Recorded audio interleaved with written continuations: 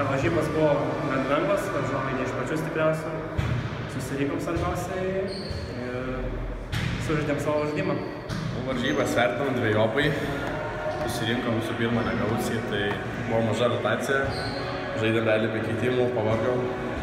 Metimai gan buvo, nekrito, varžovai gerai gynėsi.